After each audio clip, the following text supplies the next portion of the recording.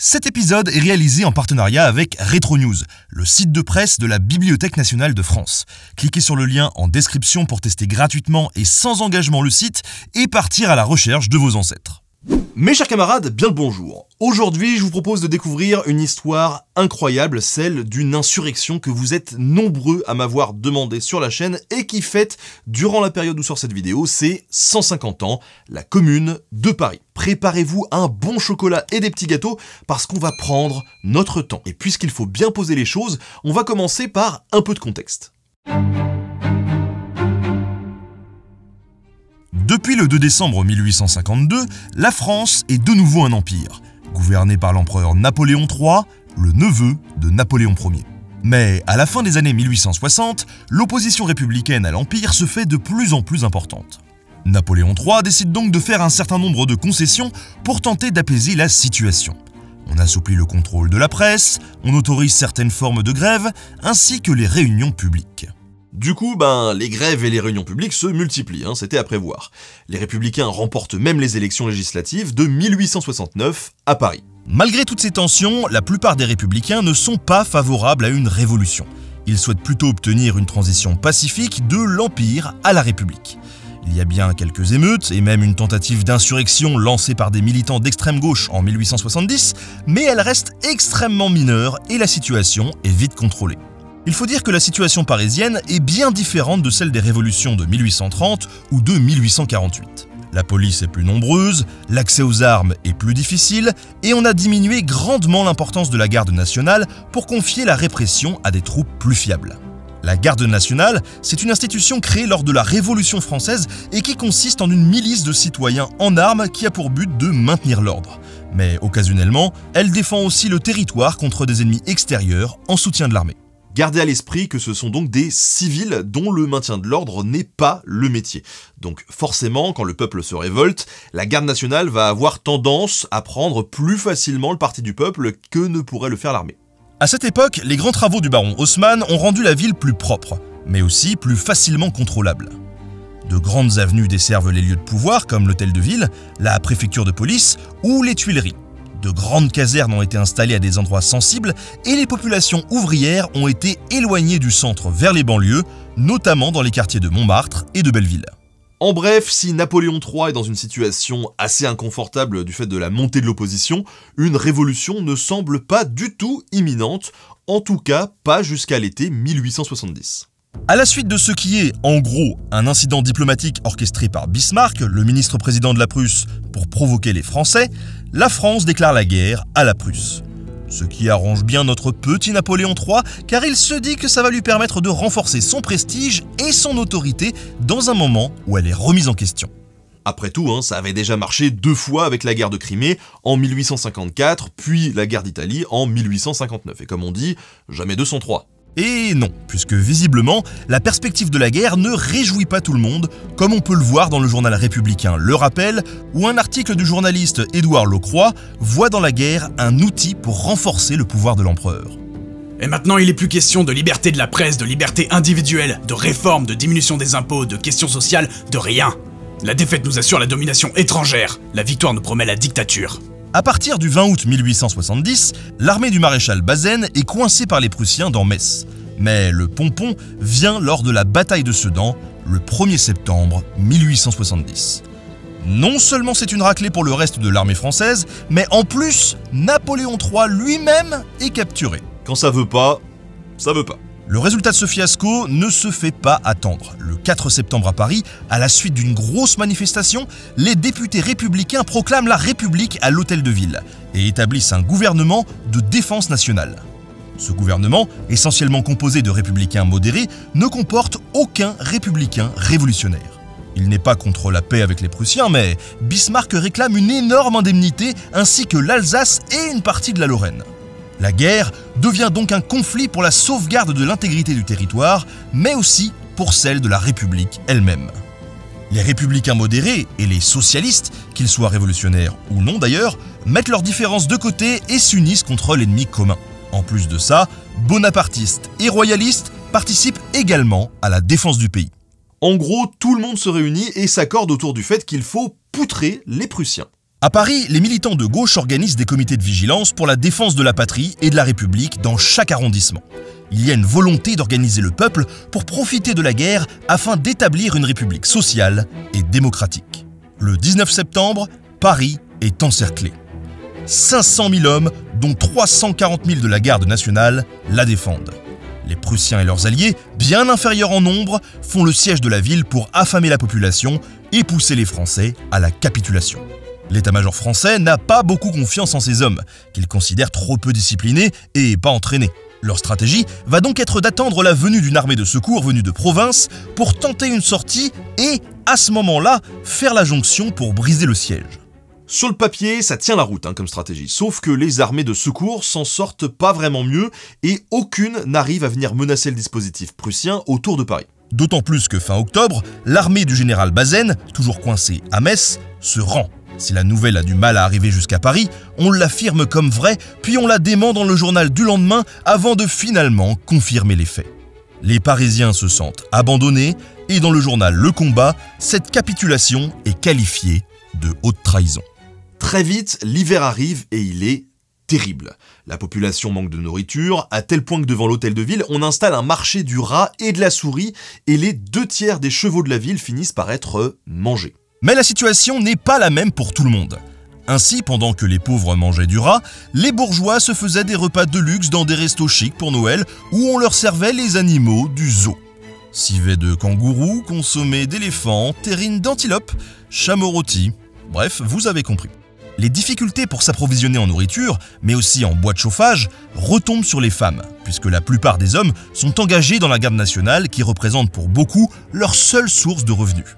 Les difficultés qu'elles éprouvent les politisent et elles sont très présentes dans les clubs politiques qui pullulent depuis la proclamation de la République. En plus de ces difficultés, de nombreuses maladies se développent en ville. Hein. On a de la tuberculose, variole, bref, le taux de mortalité est 4 fois supérieur à celui en temps de paix.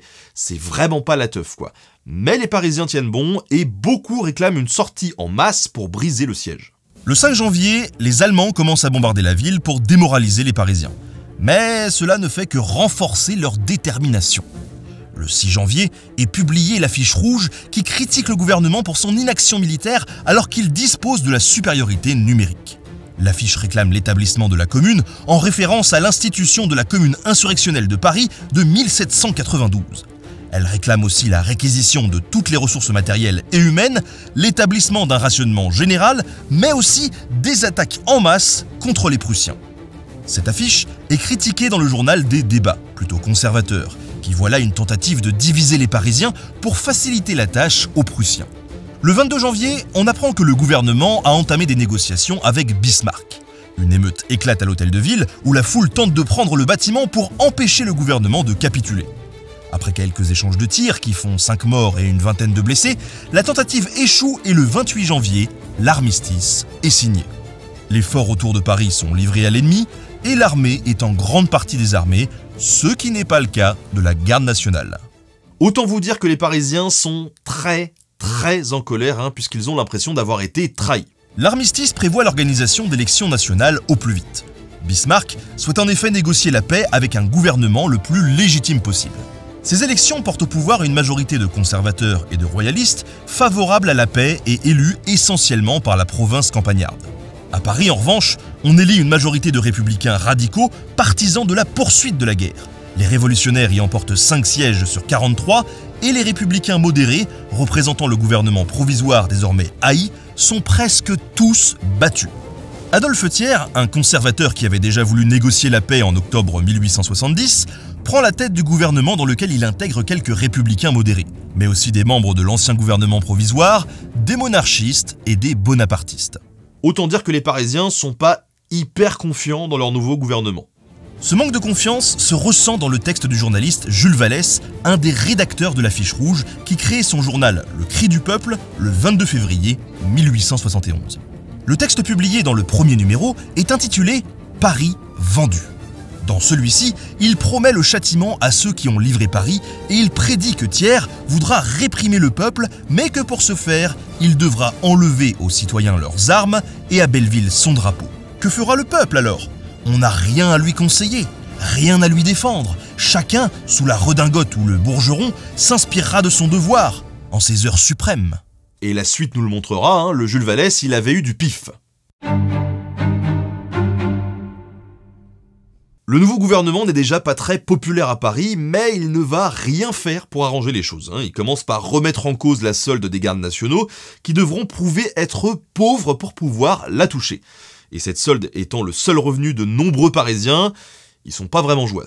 Un premier accord de paix est signé avec Bismarck, qui ne représente désormais pas juste la Prusse, mais le premier Reich allemand fondé le 18 janvier 1871 à Versailles. Cet accord prévoit, entre autres choses, l'humiliation suprême pour les Parisiens qui ont résisté pendant 5 mois de siège. Un défilé militaire allemand sur les Champs-Élysées le 1er mars. Puis, le 10 mars, l'Assemblée qui était réunie à Bordeaux déplace le siège du gouvernement à Versailles. Donc Paris perd son statut de capitale au profit de Versailles, une ville symbole de la monarchie absolue.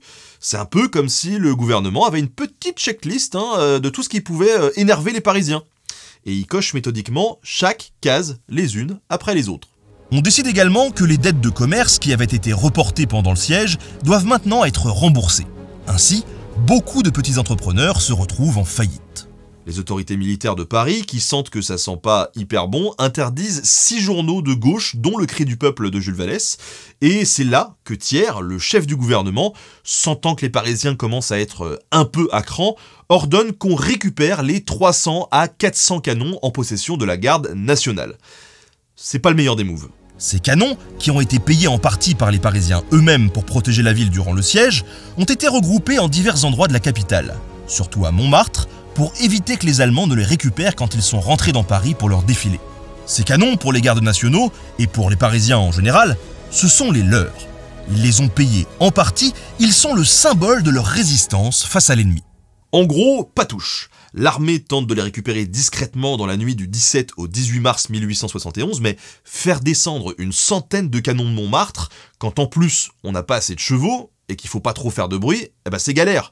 Résultat, au petit matin, l'opération n'est pas du tout terminée, et quand les Parisiens s'aperçoivent du coup fourré qu'on a essayé de leur faire, eh ben, laissez-moi vous dire qu'ils sont pas contents du tout. Je veux dire, encore moins contents qu'avant, quoi, alors que déjà ils étaient pas contents du tout. Une foule immense s'amasse autour des soldats. Les femmes se mettent en première ligne pour dissuader les soldats de tirer. Le général Lecomte, en charge de l'opération, ordonne à ses hommes de faire feu, mais ils refusent.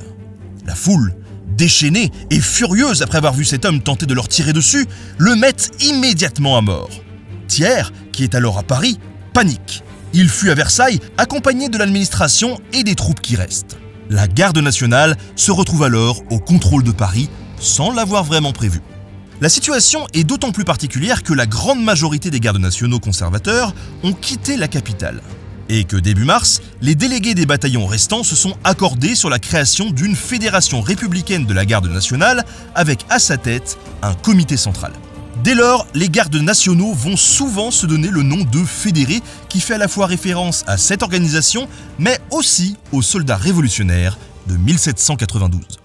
C'est donc ce comité de la garde nationale qui s'installe à l'hôtel de ville et prend de facto le pouvoir à Paris.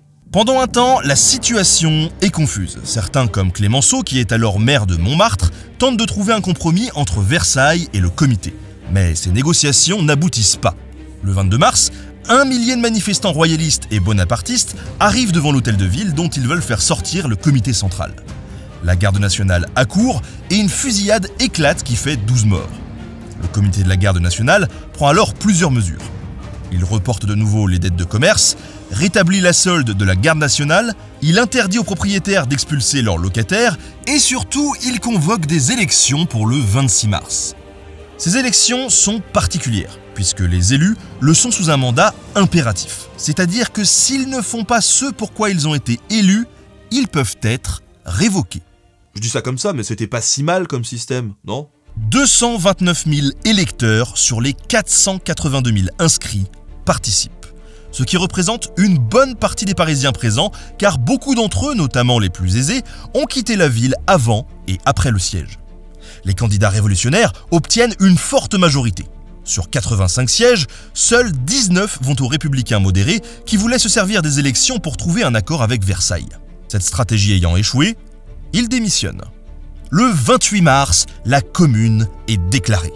Et une grande fête a lieu sur la place de grève devant l'hôtel de ville. On tire du canon, on chante la Marseillaise, on danse. Dans son journal Le Cri du peuple du 30 mars, Jules Vallès raconte. La commune est proclamée dans une journée de fête révolutionnaire et patriotique, pacifique et joyeuse, d'ivresse et de solennité, de grandeur et d'allégresse, digne de celles qui ont vu les hommes de 92 et qui consolent de 20 ans d'empire, de 6 mois de défaite et de trahison.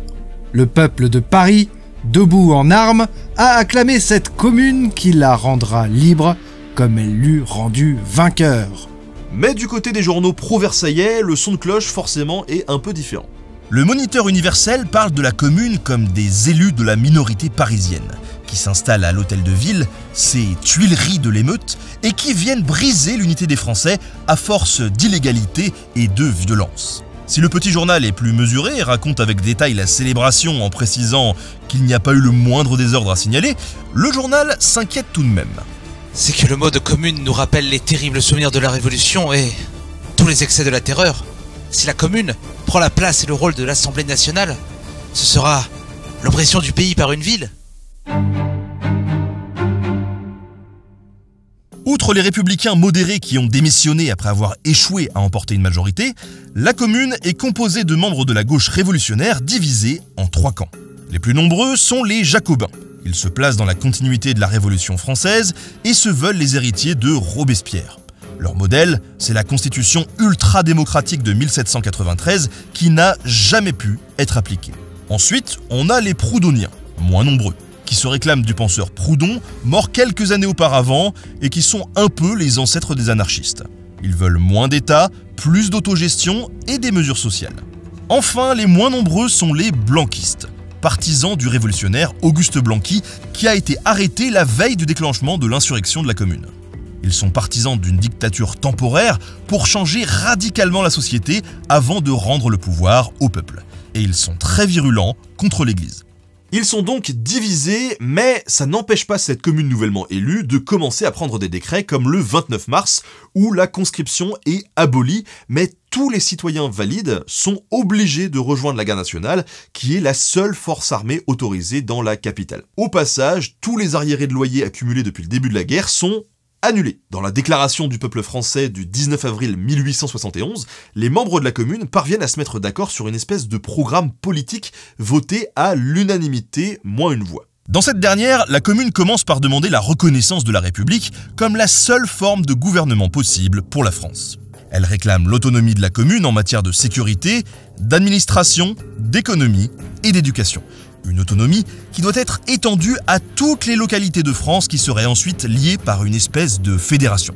Le document demande aussi la possibilité d'intervention constante des citoyens dans les affaires communales par le vote, mais aussi la proclamation de la liberté de conscience et la suppression de la police et de l'armée remplacée par la seule garde nationale. Pour être clair sur cette déclaration, hein, c'est surtout un outil de propagande à destination du reste du pays. Le but pour la commune, c'est notamment de rassurer les gens, notamment parce qu'on les a accusés de vouloir établir une dictature sur le reste de la France. La commune va donc affirmer qu'elle souhaite seulement défendre la République ainsi que les libertés municipales. Et c'est pour ça que l'un des slogans régulièrement répétés, c'est Paris, ville libre.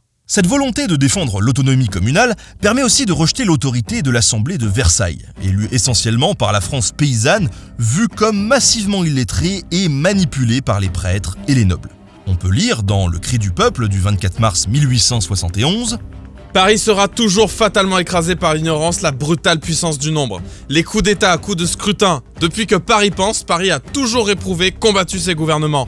Paris les a trois fois en 50 ans chassés de ses murs et trois fois le suffrage des paysans les a, sous un autre manteau, ramenés dans la cité ennemie.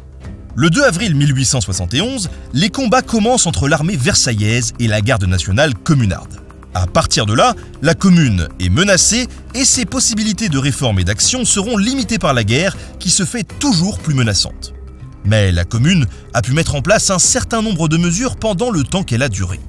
Par exemple, elle a voté la séparation de l'Église et de l'État, a rendu l'école obligatoire, laïque et gratuite pour les filles et les garçons, la laïcisation des tribunaux, des écoles, des hôpitaux a parfois fait face à des résistances de la population dans certains quartiers, alors que dans d'autres, des églises ont été transformées en clubs politiques et sont parfois même vandalisées.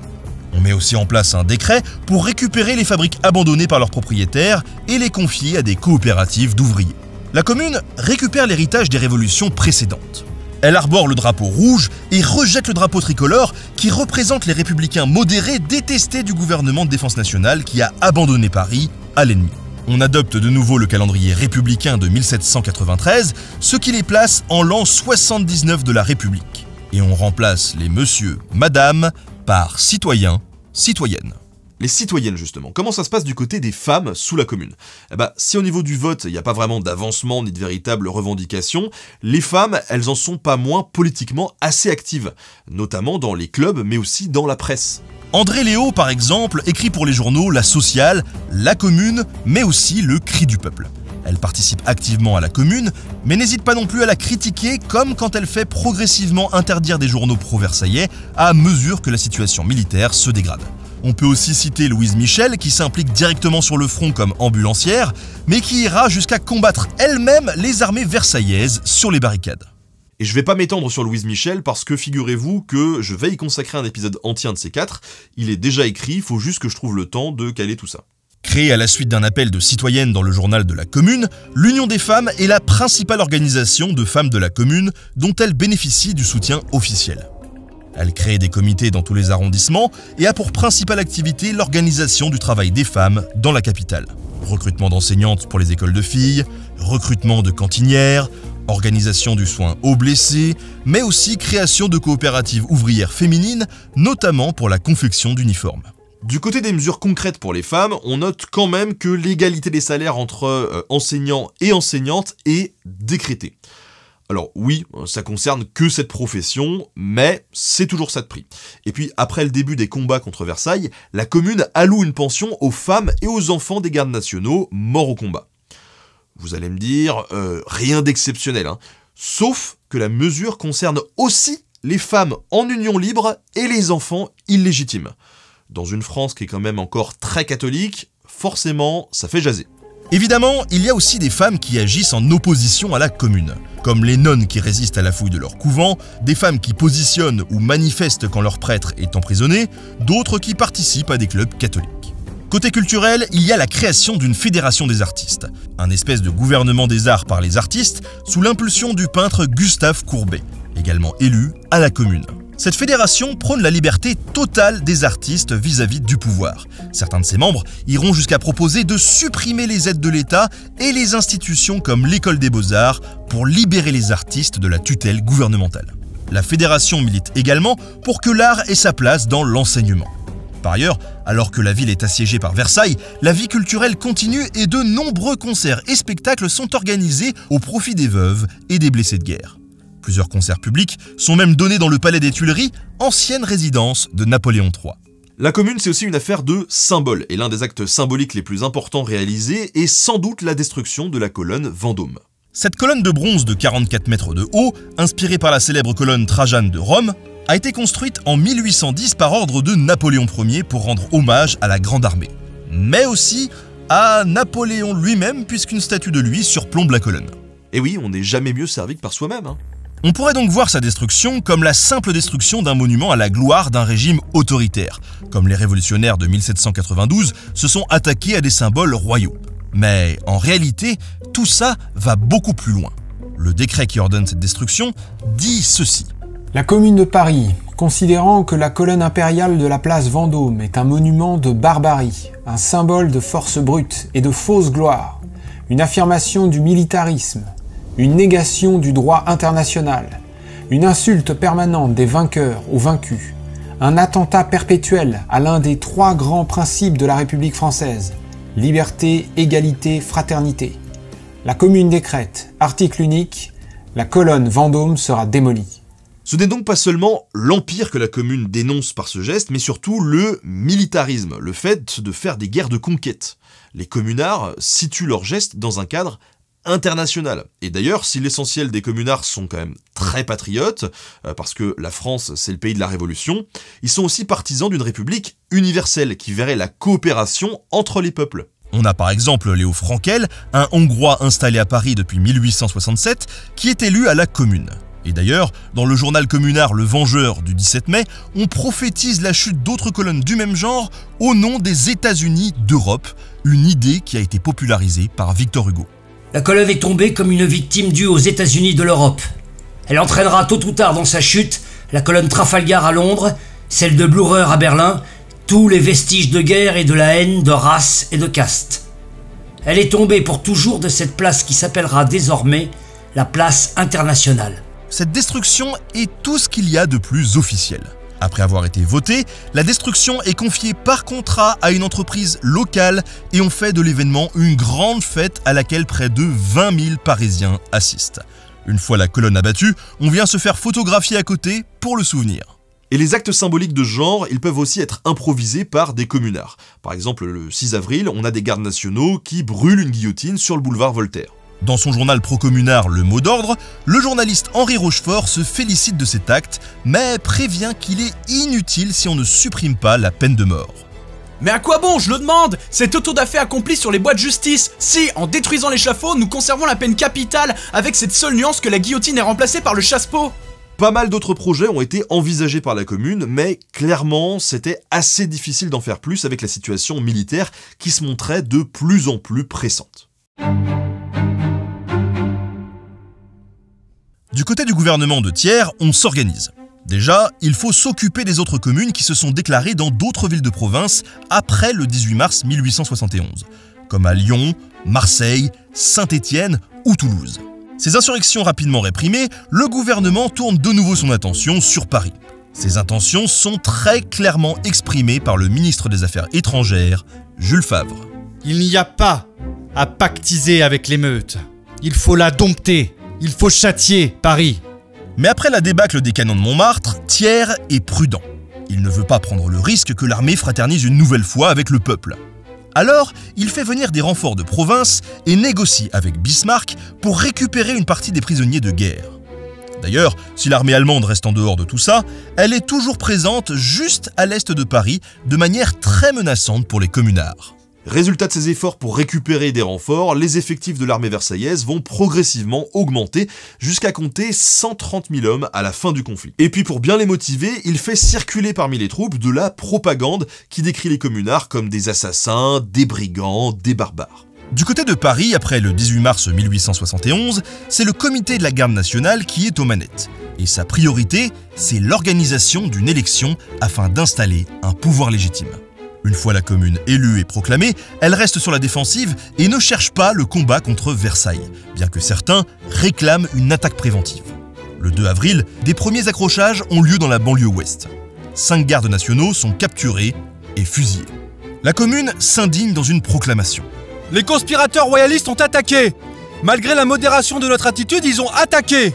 Ne pouvant plus compter sur l'armée française, ils ont attaqué avec les zouaves pontificaux et la police impériale, avec les chouans de Charette et les Vendéens de Catlino. Une nouvelle fois, on utilise des références révolutionnaires pour qualifier ses ennemis. Ça permet de renforcer la foi en la victoire des communards, en rappelant que malgré ses multiples adversaires, la Première République avait su leur résister et les vaincre.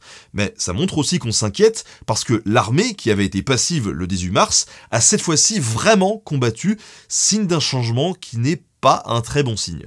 Les communards organisent une sortie vers Versailles le 3 avril. Mais le manque de préparation, l'inexpérience des troupes, la mauvaise organisation et la mauvaise communication font de cette offensive un échec. Au début du conflit, la commune dispose à peu près du même nombre de gardes nationaux, ou fédérés, que les Versaillais ont de troupes à leur disposition. Bien sûr, tous ces hommes ne sont pas des révolutionnaires convaincus, mais il y a un important phénomène de solidarité entre eux. Les bataillons étant organisés localement, ces gens se connaissent et passent beaucoup de temps ensemble, parfois depuis le début du siège de Paris. On constate alors une grande camaraderie dans les bataillons, beaucoup se sont fait photographier ensemble, ont adopté un surnom ou une petite variation d'uniforme. Cette garde nationale est aussi une force démocratique, qui élit ses officiers et qui discute parfois les ordres quand ils ne lui semblent pas bons. Évidemment, ça pose parfois des problèmes d'insubordination ou d'officiers incompétents. La garde nationale souffrait d'indiscipline, notamment car l'alcool ne manquait pas. Et la chaîne de commandement était parfois confuse, ce qui l'empêchait généralement de prendre l'initiative elle ne pouvait que réagir aux actions de l'armée versaillaise. Mais des initiatives sont prises au début du conflit pour améliorer la situation.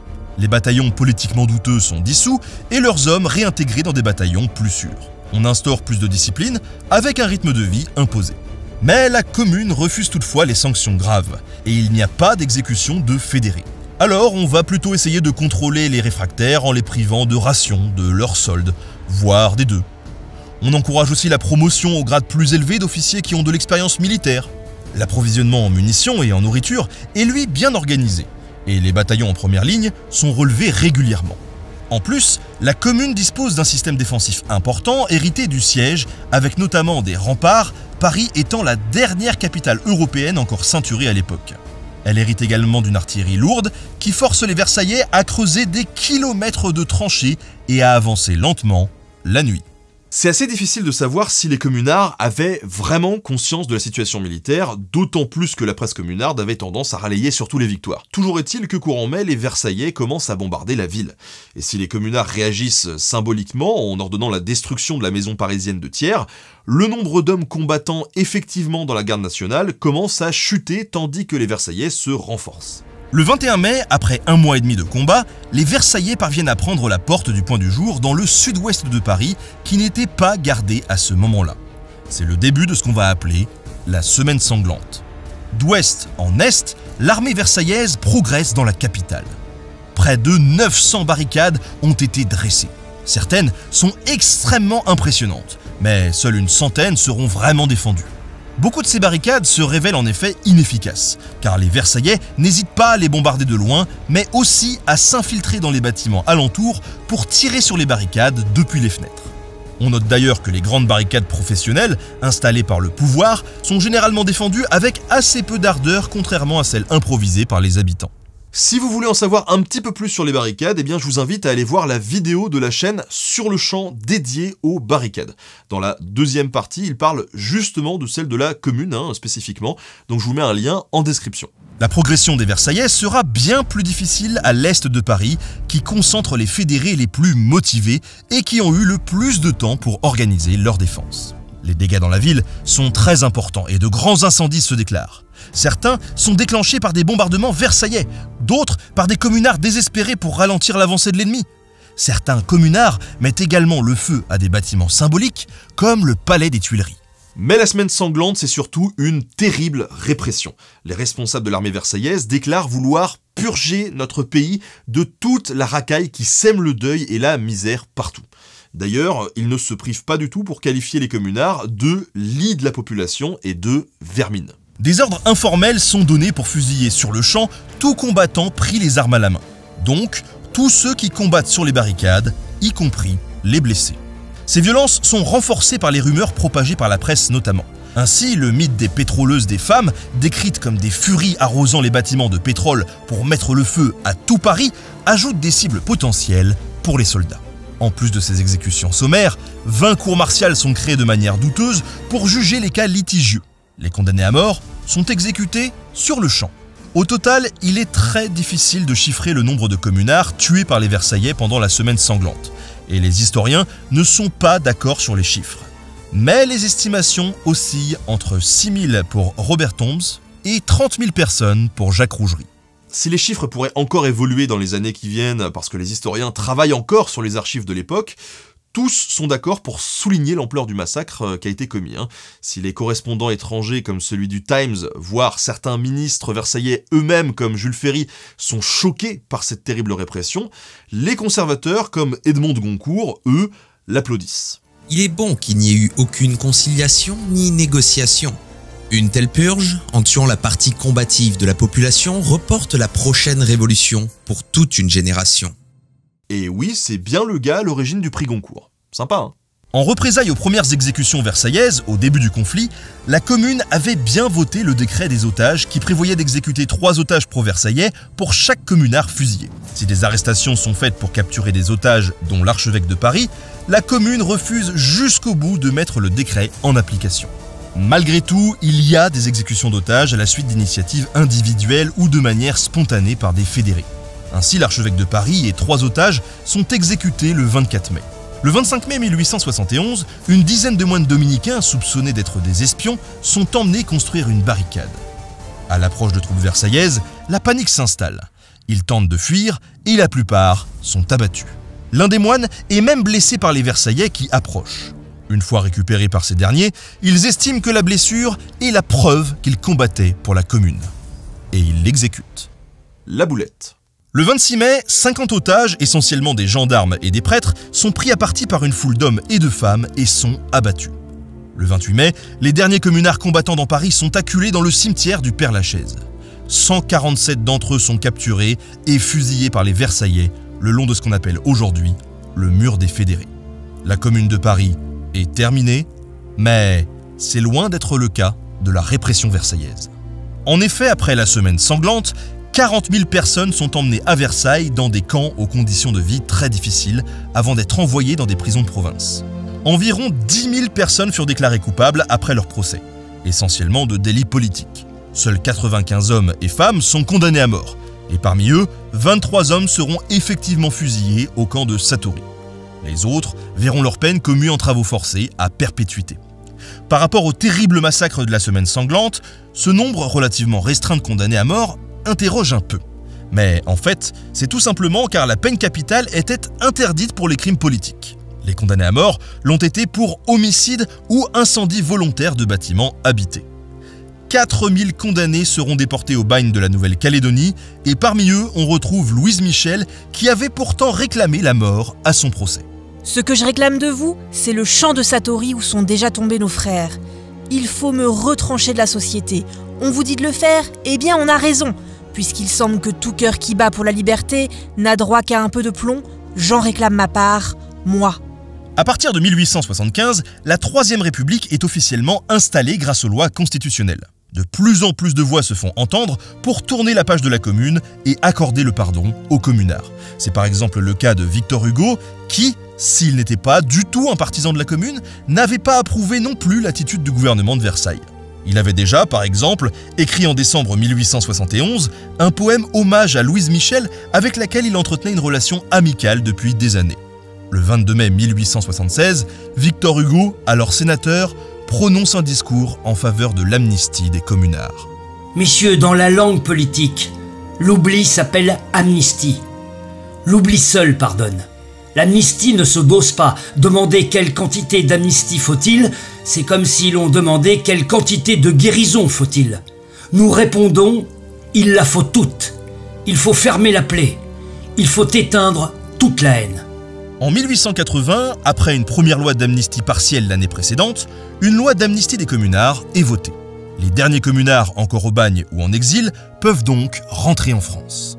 Après cela, la Troisième République va finalement mettre en œuvre certaines des réformes importantes de la commune, comme l'école gratuite puis obligatoire et laïque en 1881 et 1882, ou encore la séparation de l'Église et de l'État en 1905. La commune a eu une issue tragique, mais elle a été et elle est toujours une référence pour de nombreux mouvements politiques de gauche. La légende raconte même que Lénine dansa dans la neige le jour où son gouvernement dépassa d'une journée la durée de la commune de Paris. On retrouve aussi des bataillons républicains de la guerre d'Espagne qui portent des noms comme euh, Commune de Paris ou Louise Michel. Aujourd'hui, 150 ans après, l'association des amis et des amis de la commune de Paris continue de tenir une cérémonie d'hommage au mur des fédérés tous les mois de mai. Cet épisode a été réalisé en partenariat avec Retro News, le site de presse de la Bibliothèque nationale de France. Vous l'avez vu tout au long de l'épisode, on a pu aller piocher dans les journaux de l'époque, ce qui est quand même génial, et c'est ça qui est vraiment la force de Retro News, hein, puisqu'ils ont numérisé énormément de journaux anciens. Vous pouvez l'utiliser pour votre curiosité, parce que c'est toujours intéressant de savoir à quoi ressemblait la presse il y a plus de 100 ans, mais vous pouvez l'utiliser aussi pour vos recherches historiques ou généalogiques, ça marche aussi. Et à l'occasion de ce partenariat, Retro News vous offre d'ailleurs un mois gratuit, sans engagement, en suivant le lien que je vous mets en description. Je vous préviens, c'est à vos risques et périls, hein, parce que, euh, perso, j'ai perdu quelques soirées la tête dans les archives. Voilà, maintenant vous faites ce que vous voulez. Merci à Robin de la chaîne L'Histoire trouve toujours un chemin pour la préparation de cette émission. On se retrouve très bientôt sur Nota Bene pour de nouvelles vidéos. Salut